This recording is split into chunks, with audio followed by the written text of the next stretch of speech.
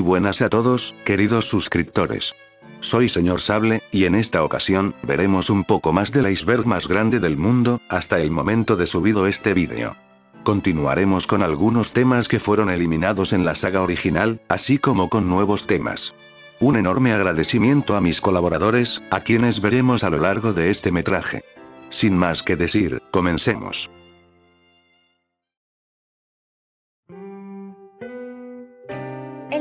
Audiovisual a continuación corresponde al esfuerzo de investigadores en conjunto para informar de los siguientes temas a la audiencia de este canal. Este canal no apoya ideales polémicos, racistas y antisemitas que se podrán abordar en este video. Nuestra única labor es informar. Véalo con discreción.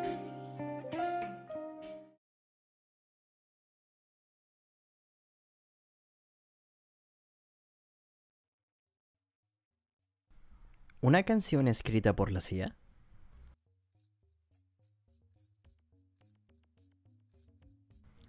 La canción Wind of Change es una famosa canción y balada de la banda de hard rock y heavy metal alemán Scorpions. La canción fue lanzada en 1990 en su álbum Crazy World y fue una de las canciones más escuchadas de los años 90.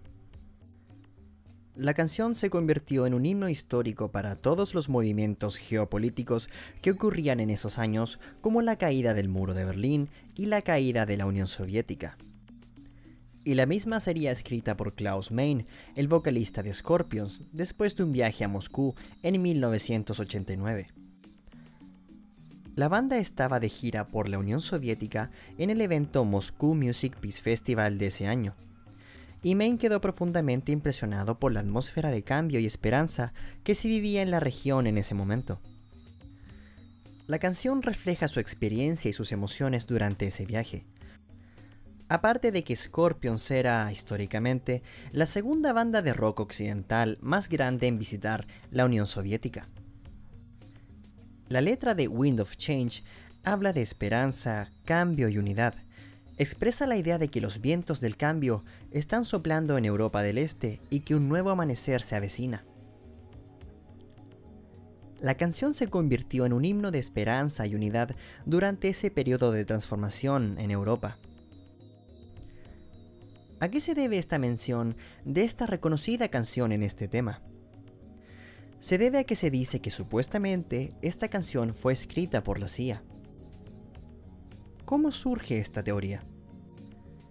De parte de un periodista del The New Yorker llamado Patrick Radenkiff, un periodista bastante serio y pesado, que anteriormente ha hecho investigaciones sumamente importantes.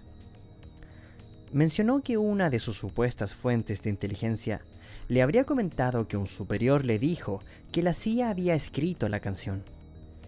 Este periodista investigó esta teoría durante años, visitando lugares donde la canción y la banda fuesen importantes tanto por su valor histórico como su valor musical.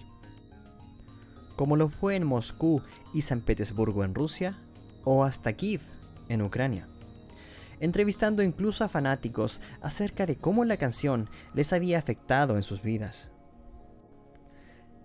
El nivel de importancia de esta canción y de la banda es tan importante que hasta funcionarios políticos o gente importante del país los suelen invitar a tocar en eventos públicos internos.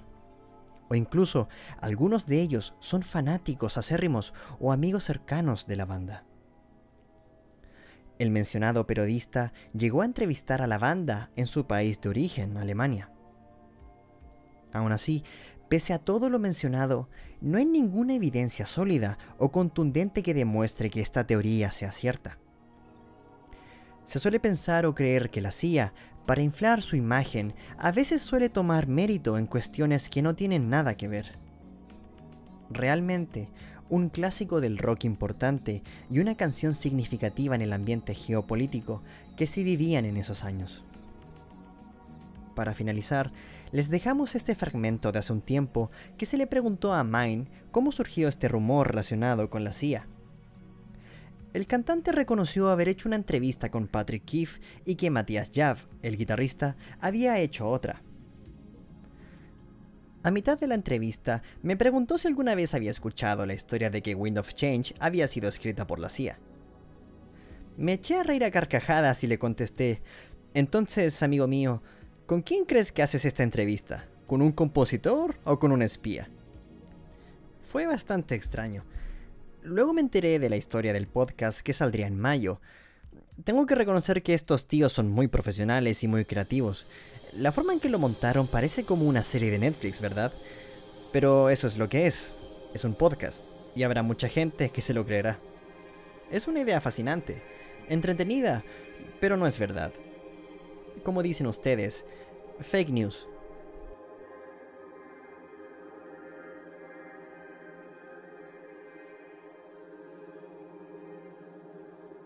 Graves of Beche Island.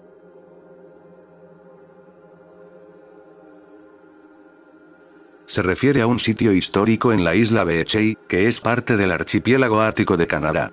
El sitio es conocido por ser el lugar de sepultura de miembros de la expedición Franklin, una misión británica liderada por el capitán Sir John Franklin, que tenía como objetivo descubrir el paso del noroeste en el siglo XIX. La expedición de Franklin constaba de dos barcos, el Erebus y el Terror, y partió de Inglaterra en 1845.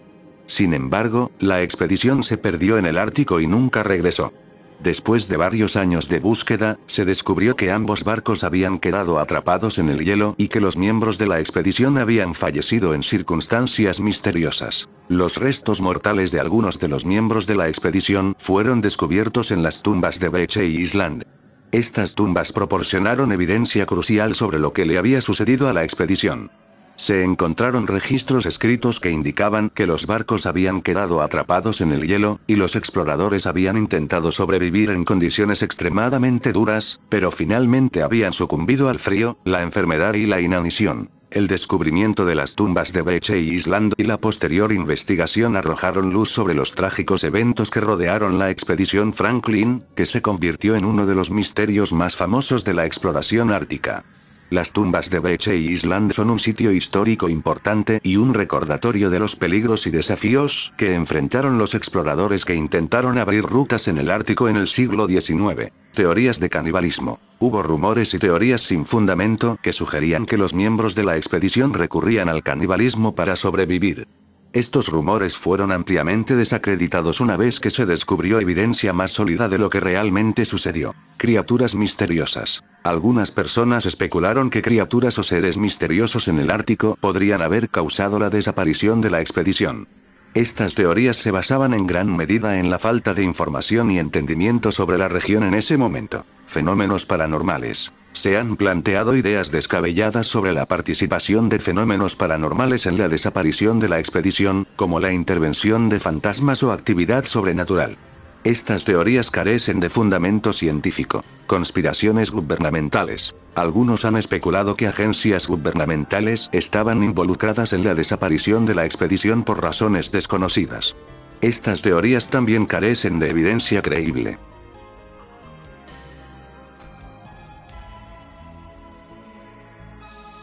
Xerox Lore. La comedia es el arte de mostrar una situación ridícula con el fin de divertir y hacer reír al espectador, ya sea en una obra teatral o como algo más simple como un chiste. En la actualidad, en los medios virtuales tenemos los memes o el shitposting, que son el día a día de las redes sociales, y aunque pareciera que los memes estuvieron con nosotros desde la creación del internet, en la realidad es que estos existían desde los Xerox Lore, que era una estrategia de los oficinistas, donde gracias a las máquinas de fotocopias podían difundir mensajes graciosos en los que casi siempre se burlaban de sus super y mensajes satíricos enviados a través de fax. Esta práctica se originó durante los años 50 gracias a los bajos costos del papel para aquella época. Los oficinistas se podrían dar el lujo de realizar esta actividad sin el temor de provocar pérdidas a la compañía, empezando con cosas tan sencillas como juegos de palabras, dibujos satíricos o simplemente fotocopiar sus nalgas. Hay muchos trabajos mucho más elaborados como arte popular y leyendas urbanas. En pocas palabras, antes de que existiera Facebook o Twitter, la gente mandaba sus memes y creepypastas por fax el folclore del Internet.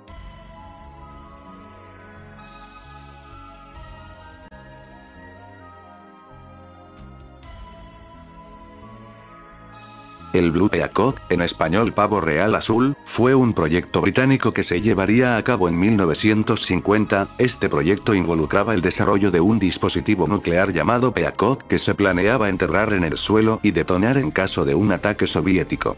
La idea era que estas bombas nucleares fueran colocadas en el suelo y fueran detonadas por control remoto mediante un cableado o por un temporizador, sirviendo como una última línea de defensa en caso de un ataque enemigo. Para febrero de 1958 el proyecto sería cancelado debido a preocupaciones como lluvia radiactiva y aspectos políticos. El proyecto se mantuvo en secreto durante varios años hasta que en 2004 fue desclasificado al público. Como dato añadir se llegó a pensar que el proyecto Blue Peacock era una broma por parte del servicio civil, debido que en el día en el que fue desclasificado fue el primero de abril, y también no ayudó mucho que cierto punto del proyecto se llegó a proponer que se incluyeran gallinas en el mecanismo de las bombas ya que su calor corporal habría sido suficiente para mantener los componentes de la bomba a una temperatura de funcionamiento.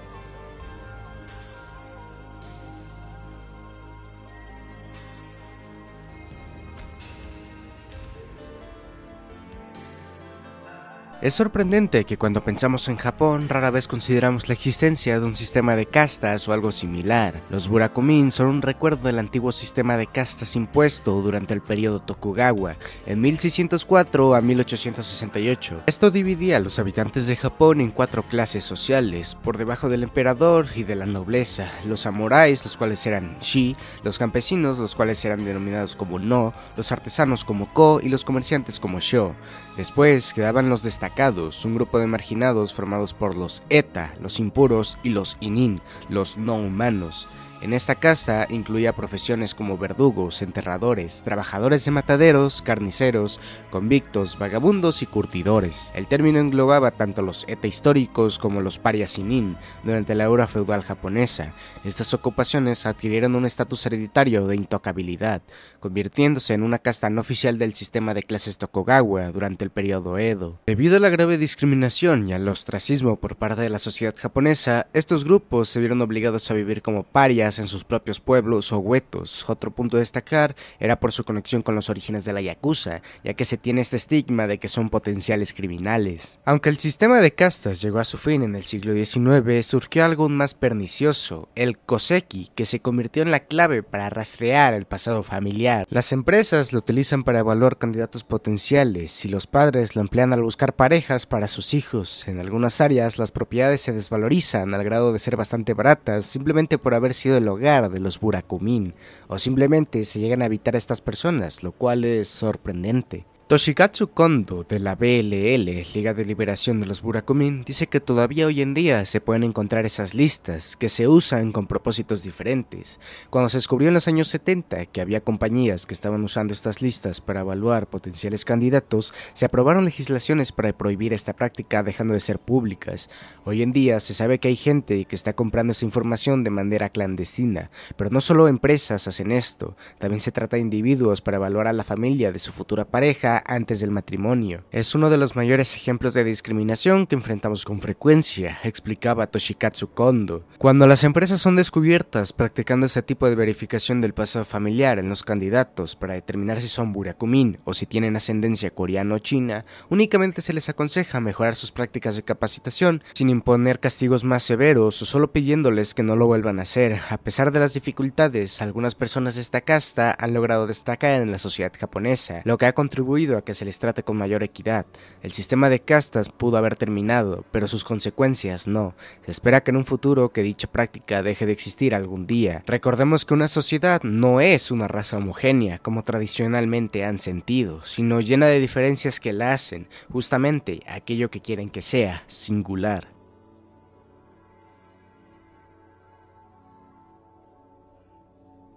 La bomba es un hermafrodita químico.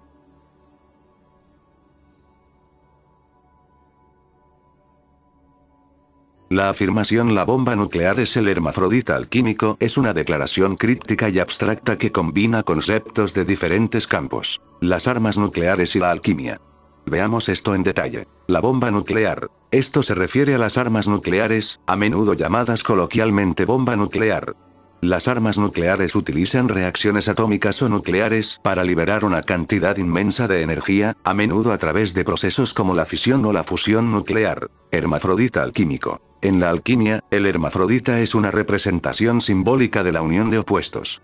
La alquimia es una antigua tradición filosófica y protocientífica que buscaba transformar metales base en metales nobles y alcanzar la iluminación espiritual.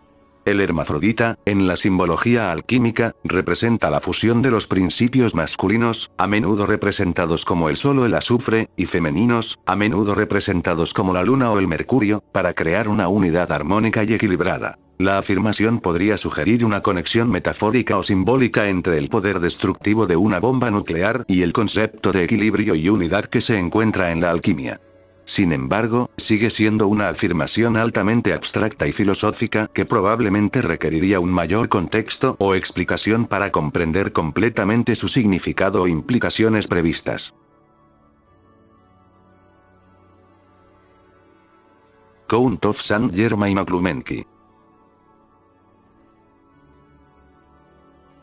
La oclumancia es una rama oscura de la magia que permite vaciar la mente de cualquier tipo de pensamiento, para lo que se requiere una gran fuerza de voluntad y mucha disciplina mental, que pasaba solamente por la cabeza de los distintos alquimistas y filósofos de la época del Renacimiento. La teoría conspiranoica que rodea la figura del duque de Germain es tan intrigante como misteriosa. Este personaje enigmático, cuya vida abarcó el siglo XVIII y del cual se sabe muy poco con certeza, ha dado lugar a numerosas especulaciones y teorías a lo largo de la historia. Se cree que el duque de Germain era un hombre renombrado por su versatilidad y conocimiento en una amplia variedad de campos, desde la alquimia hasta la música. Una de las teorías conspirativas más prominentes sugiere que Germain poseía conocimientos secretos sobre la inmortalidad o la prolongación de la vida, lo que lo convirtió en el centro de intrigas reales y sociedades secretas. Se rumorea que se encontraba involucrado en la alquimia y la búsqueda de la piedra filosofal, con motivos de espionaje para diferentes monarcas europeos, operando en conspiraciones políticas de la época. Su capacidad para hablar varios idiomas con fluidez y su conocimiento de los entresijos de la diplomacia lo hacían un candidato ideal para actividades clandestinas. Además, se ha especulado sobre su participación en sociedades secretas como la masonería y la Rosa Cruz. La falta de información precisa sobre la vida de Germain, junto con su aura de misterio y habilidades aparentemente extraordinarias, ha llevado a teorías conspirativas que van desde afirmaciones de que era un inmortal que todavía está vivo hoy en día, hasta suposiciones sobre su implicación en eventos históricos cruciales. Aunque estas teorías carecen de evidencia sólida, el duque de Germain sigue siendo una figura enigmática que alimenta la imaginación y el interés de quienes se sumergen en los misterios de la historia y las conspiraciones.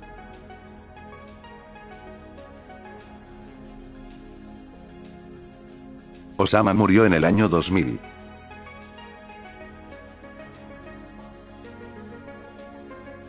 Las teorías de conspiración sobre la vida y muerte de Bin Laden fueron una constante a lo largo de los años, posiblemente al mismo nivel de las del ataque a las Torres Gemelas, la cual tiene una relación importante con el infame terrorista. Probablemente la más grande teoría de conspiración hacia su persona es la que gira alrededor de su fallecimiento. ¿Realmente la muerte de Osama Bin Laden fue tal como los medios nos lo contaron?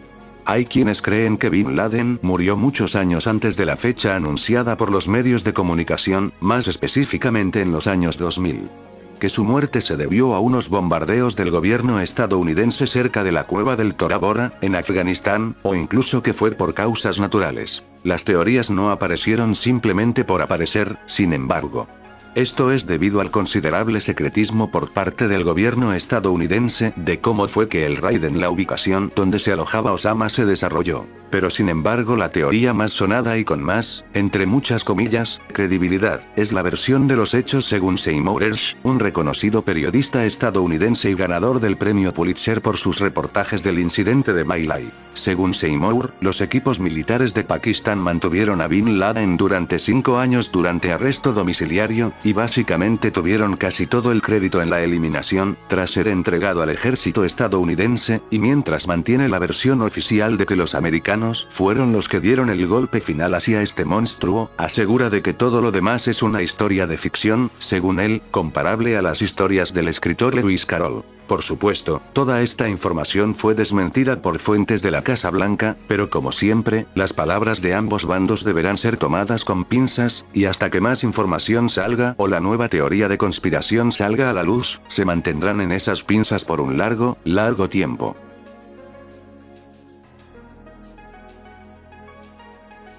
La teoría de gestión del terror.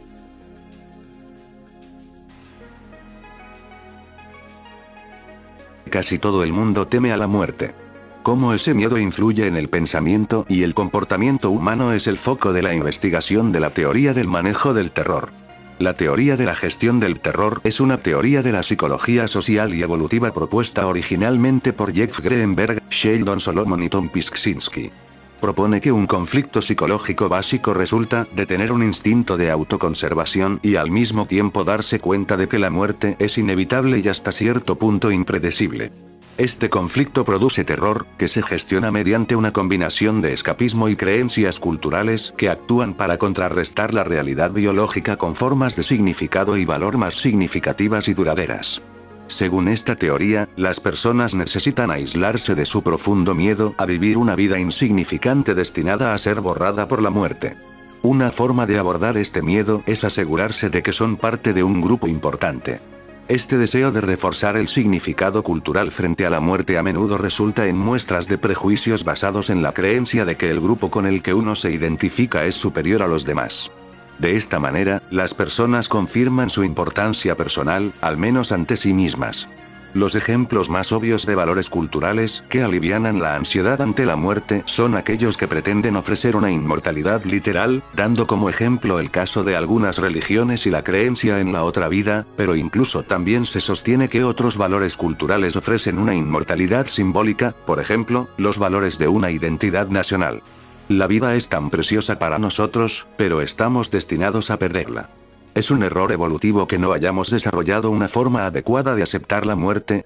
¿O la evolución busca específicamente estos sentimientos? De cualquier manera, no parece tan malo si uno elige aferrarse a una creencia de inmortalidad literal o simbólica, podría ser nuestra mejor opción, bueno, no es que tengamos muchas opciones.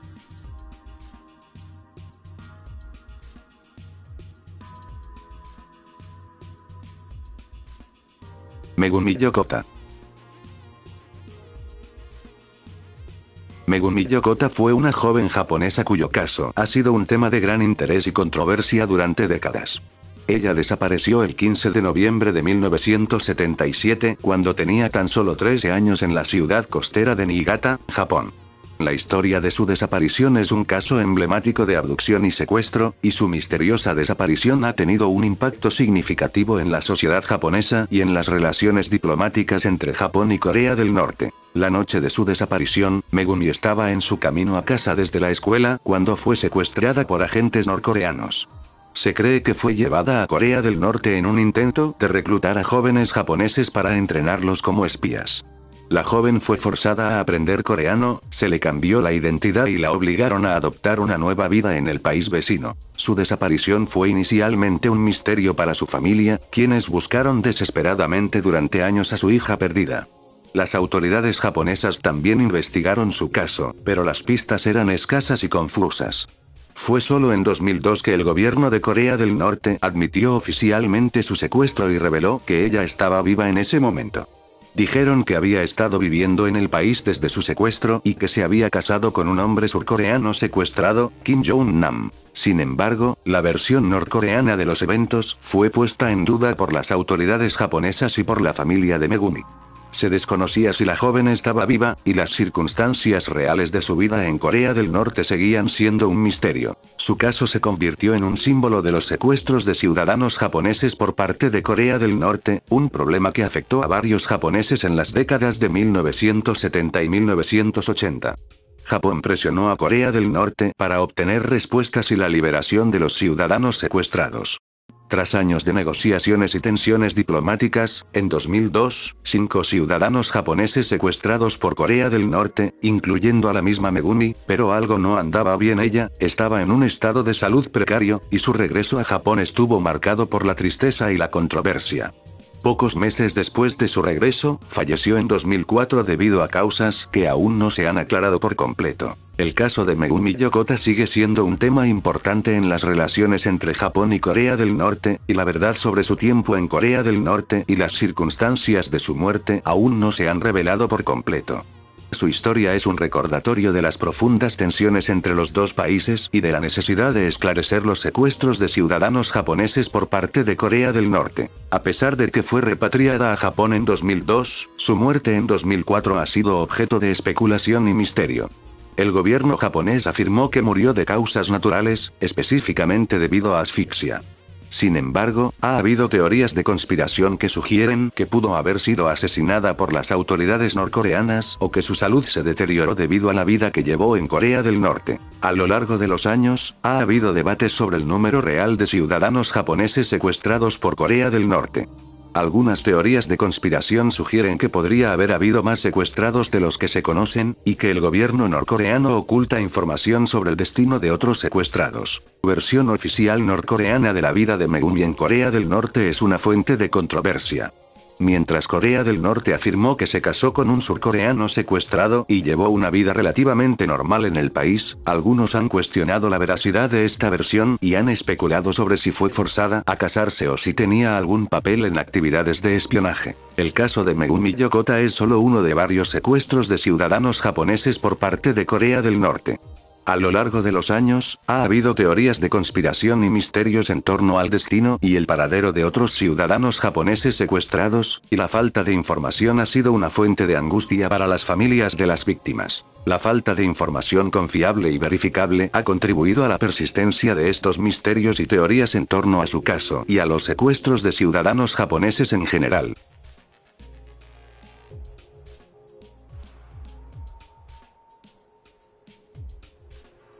La apuesta soviética que mató a 70 personas.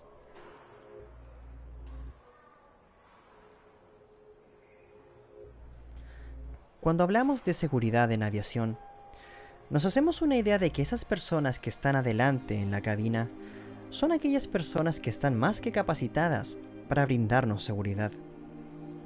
Son aquellas que nos dan la sensación de que todo estará bien y que en el caso de que ocurra un incidente ellos son los encargados de mantener todo bajo control. La seguridad en la aviación no es la misma que hace unos 30 años.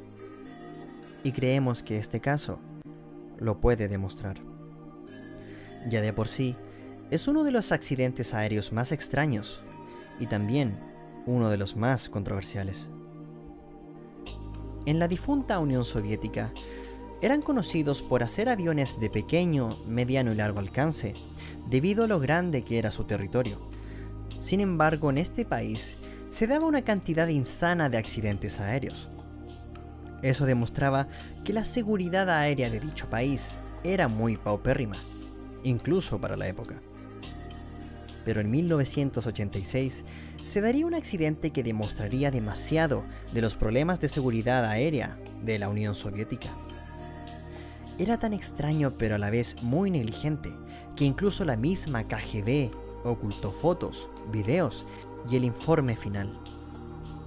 Era el vuelo 6502 de Aeroflot.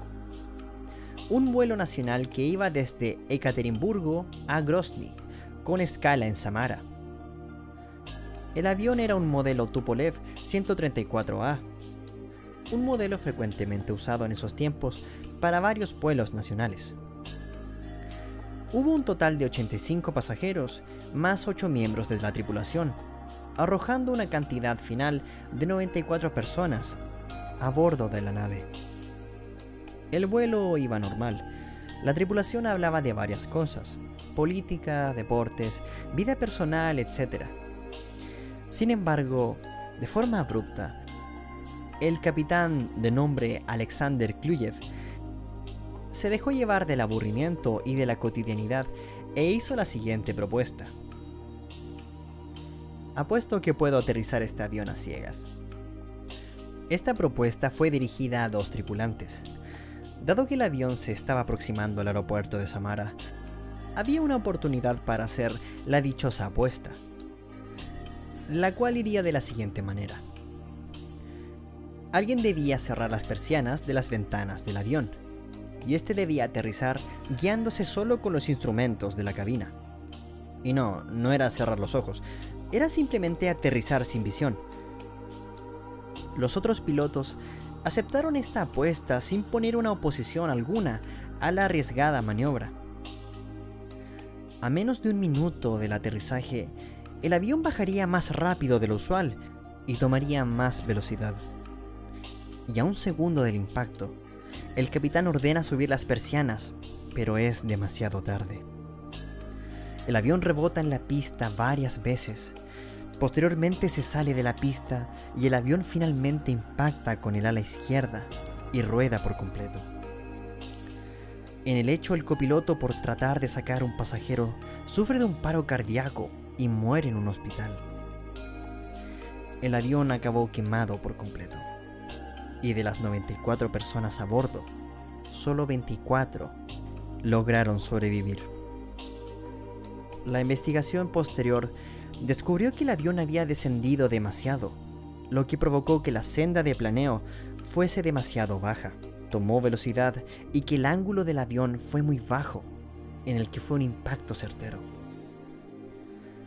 Pero cuando se analizó la grabadora de voz de la cabina, los investigadores quedaron perplejos cuando vieron que el capitán de forma explícita propuso e hizo una apuesta, y que para peor, los demás tripulantes en la cabina aceptaron hacer tan irresponsable maniobra. En este contexto, decir que fue negligencia se queda corto. El capitán originalmente iba a ser condenado a muerte, pero posteriormente su condena sería rebajada a 15 años. Sin embargo, luego esta sería rebajada a 6. Sí, 6 años por provocar la muerte de al menos 70 personas. El caso del Aeroflot 6502 es uno de los casos más extraños ocurridos en la historia de la aviación, de las peores negligencias ocurridas de la aviación general y de las peores negligencias de la historia de cualquier medio de transporte.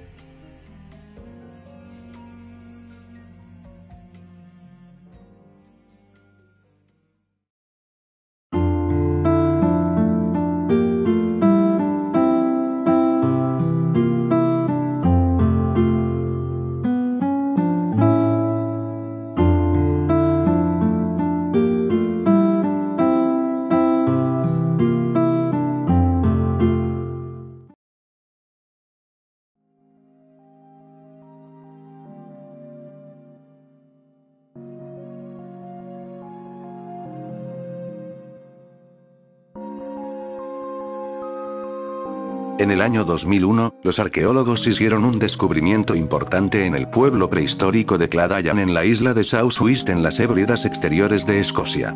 Encontraron dos momias de pantano, una masculina y otra femenina, enterradas debajo de una casa circular. Aunque no quedaba tejido blando, los esqueletos se encontraron en una postura agachada y apretada, lo que habría sido imposible de mantener durante miles de años en el ambiente empapado de las hébridas exteriores sin la presencia de tejidos blandos, para mantener los huesos en su lugar. Este descubrimiento fue muy importante ya que estas momias son las más antiguas descubiertas en Gran Bretaña, con una antigüedad de alrededor de 3500 años, y además fueron momificadas deliberadamente. Después de que los arqueólogos encontraran las dos momias de pantano en la aldea prehistórica de Cladayan, realizaron algunas pruebas que indicaron que los cuerpos fueron colocados en una turbera poco después de su muerte. Los cuerpos permanecieron allí durante aproximadamente un año hasta que se decaparon. Fueron sacados de la turbera antes de que el ambiente ácido devorara los huesos, y se envolvieron en posición fetal. Los cuerpos se mantuvieron en algún lugar desconocido durante algún tiempo antes de ser enterrados cientos de años después, bajo los cimientos de una rotonda. El cuerpo masculino había sido enterrado durante alrededor de 500 años antes, mientras que el cuerpo femenino había sido enterrado durante 300 a 400 años. Durante la investigación, los arqueólogos se dieron cuenta de que el esqueleto encontrado en Cladayan no pertenecía solo a un hombre. Resultó que la cabeza y el cuello pertenecían a un hombre, mientras que la mandíbula y el cuerpo eran de otro individuo. Pero lo más sorprendente fue que la datación por radiocarbono mostró que la cabeza, el cuello y la mandíbula eran más jóvenes que el cuerpo en unos 100 a 200 años. Los expertos llegaron a la conclusión de que, en algún momento entre la momificación de los cuerpos en la turbera y su entierro debajo de la rotonda, hubo un proceso de reemplazo de partes del esqueleto masculino. Este descubrimiento planteó aún más preguntas y misterios sobre la vida en el pueblo prehistórico de Cladayan. El arqueólogo biomédico de la Universidad de Manchester, Terry Brown, llevó a cabo pruebas de datación isotópica y de ADN en las momias de pantano encontradas en Cladayan en la isla de South Uist en Escocia. Las pruebas de ADN realizadas el año pasado revelaron que el proceso de Frankensteining de estos cuerpos es mucho más profundo de lo que se creía. Según los resultados, la mandíbula, el cráneo, el brazo y la pierna de la momia femenina no pertenecían a la misma persona, lo que significa que no tenían la misma madre si estaban emparentados. Los resultados de las pruebas realizadas en la momia femenina, descubierta en las Hébridas exteriores de Escocia, han llevado a nuevos hallazgos sorprendentes. El arqueólogo biomédico de la Universidad de Manchester, Terry Brown, llevó a cabo una investigación utilizando la datación isotópica y pruebas de ADN el año pasado descubrió que las diferentes partes del cuerpo de la momia femenina provenían de personas diferentes.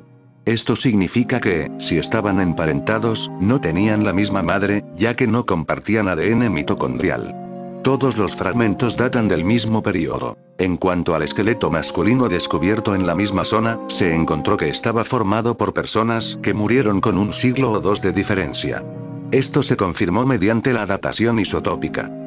Los hallazgos de estas pruebas sugieren que el proceso de Frankensteining en estos cuerpos pantanosos es mucho más profundo de lo que se creía anteriormente. El profesor Parker Pearson, quien es un experto en la edad del bronce y los rituales funerarios, tiene una teoría sobre la forma en que las momias fueron juntadas. Según él, es posible que estas momias sean componentes de parentesco, en las que están juntando linajes y que la mezcla de partes del cuerpo de diferentes personas parece ser un acto deliberado. Añadió que no cree que estas momias fueran enterradas de inmediato, sino que desempeñaron un papel activo en la sociedad, al igual que en algunas sociedades tribales en otras partes del mundo. Según su hipótesis, como parte del culto ancestral, a las momias probablemente se les habría pedido consejo espiritual para ayudar a la comunidad a tomar decisiones. Se plantea la pregunta de si hay otros esqueletos compuestos que ya se han descubierto pero que asumimos que eran los restos de una sola persona. Los científicos generalmente analizan los huesos en un área para minimizar el daño a los restos cuando buscan ADN. En este caso, se probaron múltiples áreas porque había sospechas de que algunos de los huesos provenían de diferentes cuerpos. Además, se está explorando la posibilidad de que otros entierros agazapados de la edad del bronce encontrados en otras partes del Reino Unido puedan haber sido momificados de manera similar. El profesor Pearson y su equipo están examinando restos de entierros agazapados en Cambridge en busca de evidencia de embalsamamiento de pantanos previo, y ya han encontrado algunos casos en los que la descomposición bacteriana parece haberse detenido en seco, similar a lo que ocurrió con los cuerpos de Cladayan.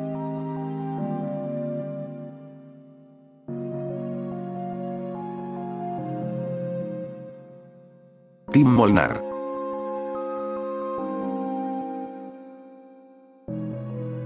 Tim Molnar, de 19 años, era un estudiante de mecánica aeronáutica en Daytona Beach, Florida. La mañana del 24 de enero de 1984, salió de su casa para ir a clase como usualmente hacía para nunca más volverlo a ver. La última persona que lo vio fue su hermano de 14 años, Frank, a quien dejó en la escuela. Algunos creen que fue víctima de un juego sucio, pero otros, incluida su familia, creen que escapó para comenzar una nueva vida en otro país. La noche después de la desaparición de Tim, su familia recibió una llamada telefónica. Cuando contestaron, no había ninguna voz reconocible en la línea, solo estática. Creen que pudo haber estado tratando de llamar a casa, pero los nervios se apoderaron de él y colgó abruptamente. Dos semanas después de su desaparición, su familia se enteró de que el día de su desaparición se detuvo en una gasolinera en Lake City, Florida, y pagó el tanque de gasolina con la tarjeta de crédito de sus padres. El encargado de la gasolinera le dijo a su familia que viajaba solo. Cuatro meses después, recibieron una carta de una empresa de incautación de automóviles en Atlanta, Georgia, que decía que había dejado su automóvil en un estacionamiento seis días después de su desaparición inicial. El lote estaba a solo una cuadra de la terminal de autobuses Greyhound. La familia de Tim encontró su licencia de conducir, billetera, tarjeta de crédito y otros artículos en su automóvil, lo que sugiere la posibilidad de que cambiase de identidad. También descubrieron que faltaban varios artículos costosos del auto, incluido un estéreo, su juego de herramientas y una bicicleta. La policía hasta el día de hoy no están seguros de si eligió desaparecer por cuenta propia o si le sucedió algo más. Por alguna razón, no se llevó más ropa consigo que la que llevaba puesta ese día. Cuando el caso volvió a salir al aire el 31 de enero de 1996, un espectador llamado Steven Cool llamó al telecentro. Reconoció la ropa de Tim como la que había encontrado en un cuerpo congelado en hielo en un apartado bosque en Neoso, Wisconsin, 10 años antes. Después de contactar al médico forense, ellos contactaron a la familia de Tim y recibieron muestras de ADN. A través de pruebas de ADN, se confirmó que el cuerpo era suyo en noviembre. Se determinó que las llaves encontradas coincidían con las cerraduras de la casa de Molnar. A pesar de la identificación, no se pudo determinar la causa de la muerte de Tim, no había signos de trauma, ni nadie pudo determinar cómo o por qué viajó hasta Wisconsin. Su familia celebró un servicio conmemorativo para él y lo enterraron en Daytona Beach, Florida. Su muerte sigue siendo un misterio.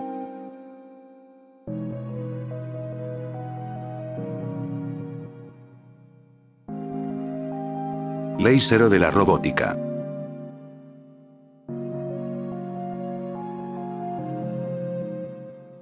Las tres leyes de la robótica o leyes de Asimov son un conjunto de normas elaboradas por el escritor de ciencia ficción Isaac Asimov que se aplican a la mayoría de los robots de sus obras y que están diseñados para cumplir órdenes. Aparecidas por primera vez en el relato Círculo Vicioso de 1942, establecen lo siguiente. Primera ley. Un robot no dañará a un humano, ni por inacción permitirá que un humano sufra daño. Segunda ley. Un robot debe cumplir las órdenes dadas por los humanos, a excepción de aquellas que entren en conflicto con la primera ley. Tercera ley. Un robot debe proteger su propia existencia, siempre y cuando esta protección no entre en conflicto con la primera o segunda ley. Las leyes originales han sido modificadas y desarrolladas por Asimov y otros autores. Asimov hizo ligeros cambios a las leyes en varios libros e historias cortas para desarrollar aún más cómo los robots interactúan con los humanos y entre ellos.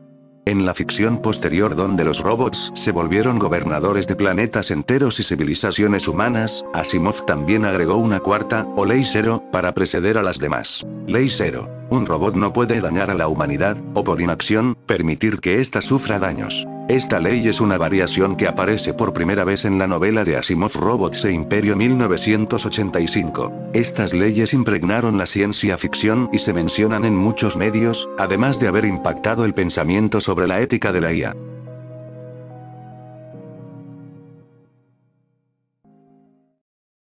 ¿El fuego es un ser vivo?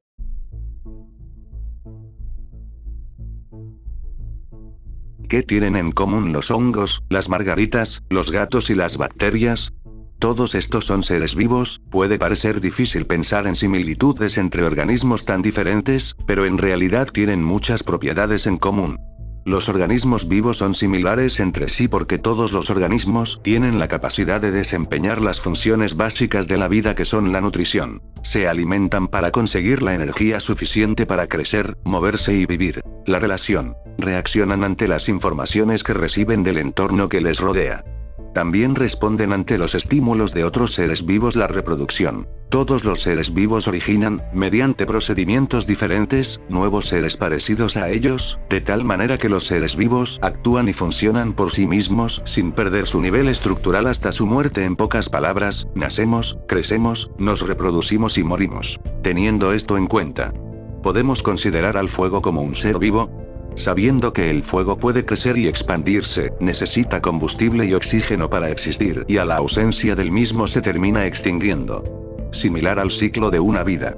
Aunque comparte algunos rasgos el mismo el fuego no cumple con todos los requisitos o condiciones que un ser vivo tiene que tener para ser considerado uno, por ejemplo, el fuego necesita el oxígeno para existe, pero no respira tampoco se reproduce solo, se expande y sobre todo ignora la teoría celular, ya que en la misma se indica que los seres vivos estamos formados por células, algo que el fuego no cumple, ya que está formado por gases ionizados. Y por esto no lo podremos considerar como un ser vivo, pero puede llegar a considerarse como un sistema abierto ya que, si intercambia energía con el ambiente, cuando está prendida genera energía con su calor, siendo más específico energía calórica pura y el uso que damos al fuego en la vida humana son infinitos, generalmente vinculados con su capacidad de transformación de la materia, o su capacidad de iluminación del ambiente por lo cual de forma irónica el fuego fue parte fundamental para la evolución de la vida humana.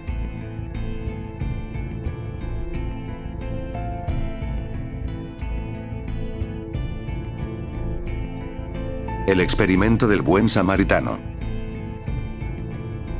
El experimento del buen samaritano fue un experimento desarrollado por Darley y Batson en 1978 aplicado a 67 seminaristas del Seminario Teológico de Princeton. Este se basaba en la conocida parábola del buen samaritano mencionada en el Evangelio según Lucas 10, 30 al 35. Recordemos la parábola donde se relata que un hombre se dirigía de Jerusalén a Jericó cuando fue atacado por unos delincuentes que le quitaron todo, lo hirieron y lo dejaron casi sin vida. Sucedió que un sacerdote bajó por ese mismo camino y, al verlo, decidió seguir de largo sin prestarle ayuda. Lo mismo hizo un levita o persona dedicada al ministerio religioso, al aproximarse al lugar y avistarlo. Sin embargo, un samaritano, que era para aquella época un adversario, se acercó al hombre y, al ver su estado, sintió compasión. Se aproximó, vendó sus heridas y las trató con aceite y vino. Luego, lo subió a su animal, lo llevó a una posada y se ocupó de él. Al día siguiente, antes de partir, sacó dos monedas y se las entregó al encargado de la posada, diciéndole, cuida de él, y si incurres en gastos adicionales, te los reembolsará cuando regrese.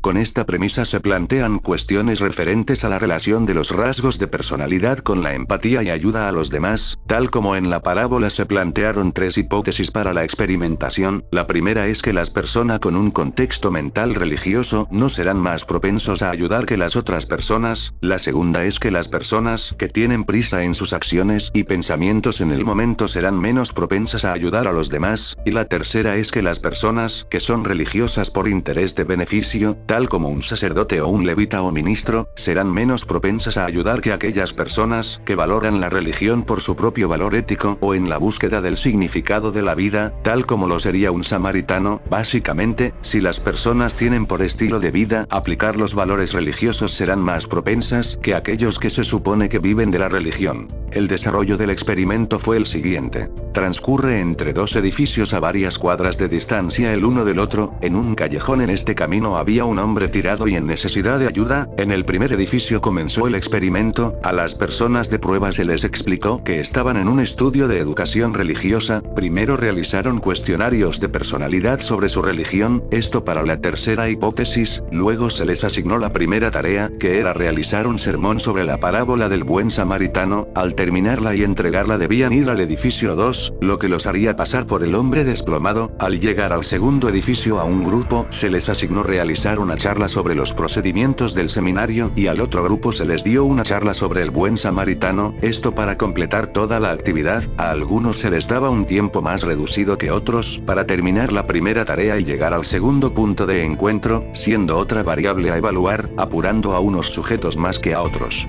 El hombre desplomado junto al camino tosía dos veces y gemía mientras pasaban y se estableció una escala de ayuda del 0 al 5 según la reacción de los seminaristas al toparse con la situación, esta escala iba desde no darse cuenta de la necesidad hasta no seguir su camino sin ayudar a la persona o proponer llevarla a un lugar seguro. Al finalizar la segunda actividad se les realizó un cuestionario de conducta de ayuda a los evaluados, concluyendo el experimento con los siguientes resultados. En general el 40% ofreció algún tipo de ayuda a la víctima, cuando los estudiados no tenían prisa por llegar ayudó un 63%, cuando tenían una medida de prisa intermedia ayudó un 45% con mucha prisa ayudó un 10%, cuando la charla de la segunda tarea era referente al buen samaritano ayudó un 53% y cuando la charla era sobre las tareas ayudó un 29%, no hubo relación entre los clasificados como religiosos y el comportamiento de ayuda, de hecho se vio como había una tendencia de menos ayuda en las personas que veían la religión como una búsqueda que las personas que mantuvieron una baja puntuación en esta variable, sin embargo esta última conclusión ya no hace parte de variables religiosas como conclusiones, se toma que la medida de apuro de las personas es aquella que determinará su nivel de ayuda, incluso si está pensando o preparándose para dar una charla sobre las cuestiones éticas en la parábola del buen samaritano, pensar en las normas o reglas no establece que se van a aplicar ya que el sujeto en este caso, o por otro lado, es probable que la situación inducida por el afán fue lo que sesgó el sentido de emergencia o conexión cognitiva con los hechos que transcurrían con una reacción.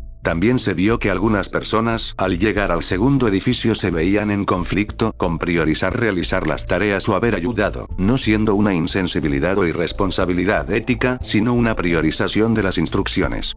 Lo cierto es que la próxima vez que tengas prisa es mejor que te detengas un momento a observar y analizar situaciones de emergencia, puede que en ello le salve la vida a otros o quizá, a ti mismo.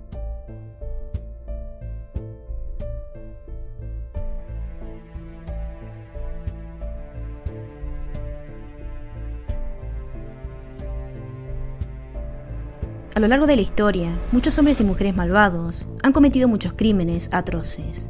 Algunas de las historias han sobrevivido a través de los siglos, mientras que otras han sido prácticamente olvidadas y dejadas atrás. El hombre lobo de Chalons, o también conocido como el Demon Taylor, fue un asesino en serie que desapareció a 50 niños en Francia en el año 1598. Su apodo surgió porque lo confundieron con un hombre lobo, incluso después de su arresto.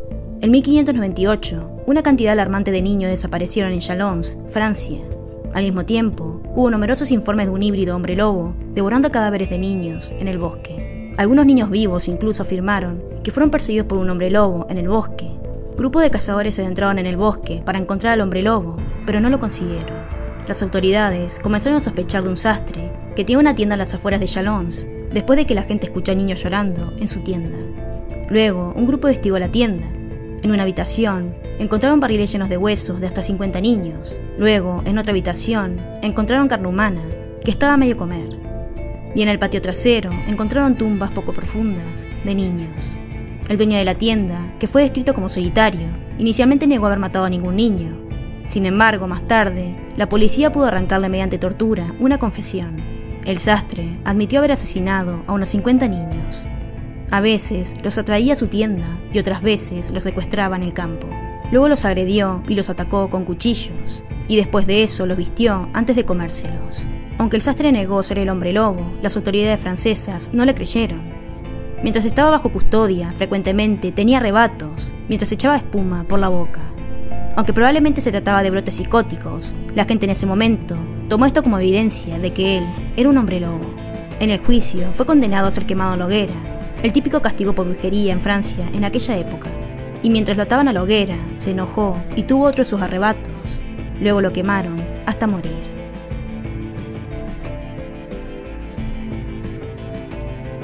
Hoy les Skip.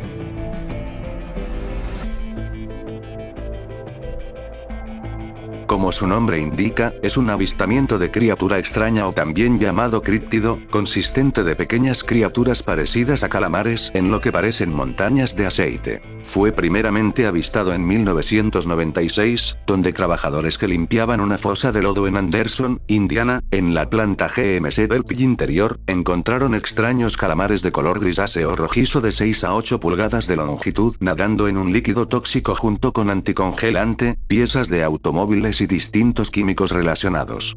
Uno de ellos fue atrapado y colocado en un frasco que se guardó en la fábrica, desapareciendo tal antes de que se pudiera realizar una investigación más profunda.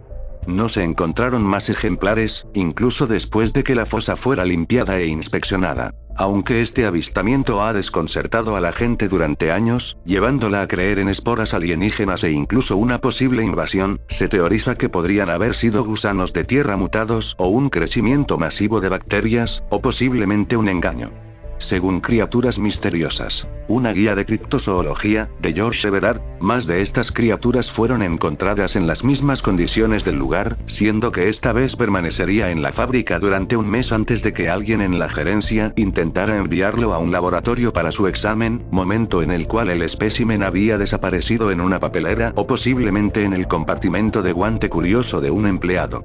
Al año siguiente, no se encontraron criaturas similares en la fosa de lodo durante la limpieza. El oil pit skip podría ser una espora alienígena, un crecimiento masivo de bacterias o un gusano de tierra mutado. También podría tratarse de un parásito desconocido, similar a un oso de agua o una criatura similar a un pez, siendo la pura verdad que tal ente se trata de un críptido del que conocemos tan poca información que no nos queda más que dar vueltas sobre las mismas características dentro de lo que parece un mar desconocido.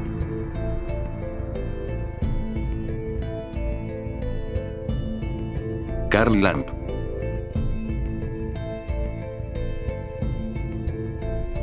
Esta historia fue relatada en el libro Tempestad en los Andes de Luis Eduardo Valcárcel Vizcarra.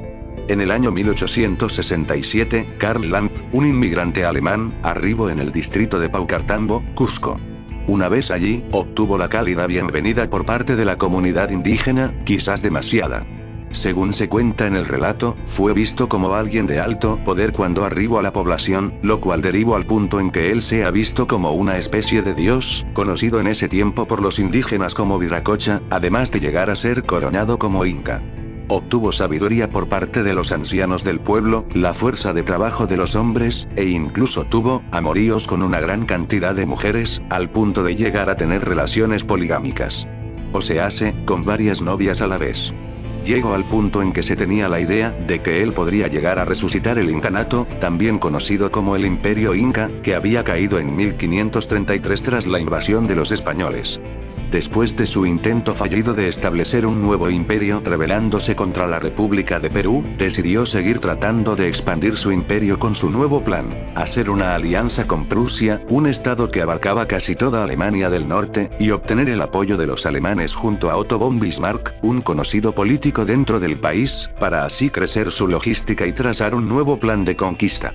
Para eso, Karl planeó hacer un viaje hacia Europa para concretar el encuentro. Sin embargo, los ancianos de su pueblo, leales a él, aconsejaron seriamente que no debía hacerlo, pues presagiaban que algo malo podría llegar a pasar. Pero para su desgracia, Carl hizo oídos sordos ante sus ruegos, y partió rumbo a su destino, sin saber que esa sería la última vez que se sabría algo de él. Literalmente, había desaparecido de la faz de la Tierra en aquel viaje. Aunque las teorías de su desaparición, por supuesto, no faltaron. Hay algunos que dicen que fue víctima de un asesinato por parte de unos espías, otros que pereció en medio de su viaje de regreso a América, o que incluso falleció por una enfermedad de transmisión sexual, pero no hay nada realmente concreto. Y bueno, la otra cosa que tampoco es muy concreta es si la historia es real. Ya que a pesar de todo lo ya dicho, apenas hay registros históricos que realmente prueben que dichos acontecimientos o que su mera existencia sea hechos legítimos. Aún así, no deja de ser una historia curiosa, la cual inmortalizó a Carl en la historia como el Inca rubio, aunque si su inmortalización en la historia está fundamentada en algo ficticio o verdadero, quedará en el umbral del misterio para siempre.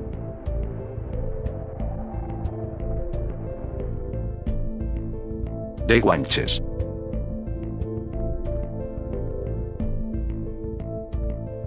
Guanche es un término utilizado para referirse a los antiguos aborígenes de la isla de Tenerife en las Islas Canarias anteriores a la conquista española, teniendo una ascendencia del norte de África, siendo emparentados cultural y físicamente con los bereberes por su cercanía geográfica y demás aspectos propios de aborígenes, se estima que llegaron a la isla en torno al siglo VI a.C., se caracterizaron por una tecnología y desarrollo primitivo, usando lanzas y garrotes en los enfrentamientos, viviendo en cuevas adecuadas para cocinar y dormir, vistiendo ropas hechas de pieles de animales tejidas de manera formidable, siendo guerreros y ganaderos de piel tostada con una marcada diferencia entre los hombres y las mujeres en su altura, con una esperanza de vida de 30 a 45 años para los comunes y 65 para aquellos que gozaban de un privilegio en la nobleza. Los guanches cazaban, pescaban, criaban y cultivaban, consumiendo carne, leche, queso, manteca, gatos, erizos, cangrejos, palomas, cerdos, lagartos, legumbres, habas, guisantes, trigo, higos, moras y piñones, aprovechando todos los recursos a su disposición para sobrevivir, como la madera, las rocas, la sal marina y la miel.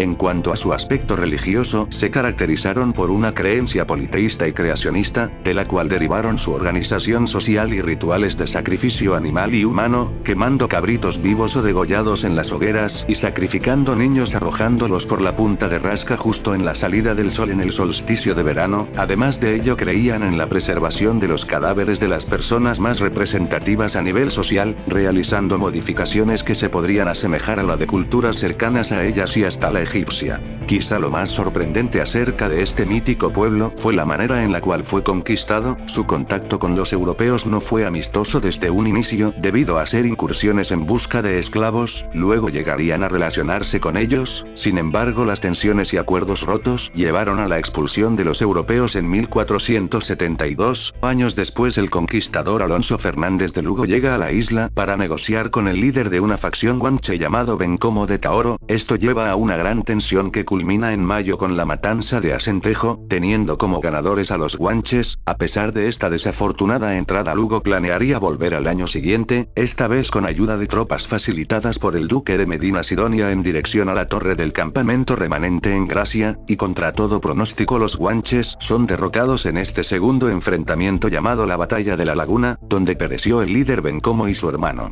Mientras los conquistadores se encontraban organizándose en su campamento, se comenzó a dar entre los nativos de la isla una epidemia conocida como modorra guanche, que acabó con una gran cantidad de los habitantes, se estima que incluso más que los enfrentamientos, siendo en la historia uno de los primeros casos de guerra bacteriológica de posiblemente una o varias enfermedades entre la gripe, viruela, tifus, sarampión, cólera, fiebre amarilla o rabia. Una vez se restablecida la fuerza conquistadora, se adentraron a finales de 1495 en las cercanías del lugar de batalla de la primera derrota, sin embargo esta vez saldrían vencedores, en lo que se conoció como la batalla de la victoria de Asentejo, sin fuerzas ni esperanza en 1496 finalmente los líderes guanches deciden entregar sus territorios y rendirse ante los invasores, poniendo el punto final a un pueblo, una cultura, un legado y una historia.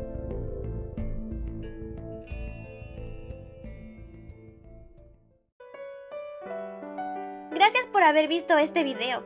No olvides suscribirte para ver mucho más contenido similar. Me encantaría leer tu comentario allá abajo. Visita el canal y nos vemos hasta la próxima.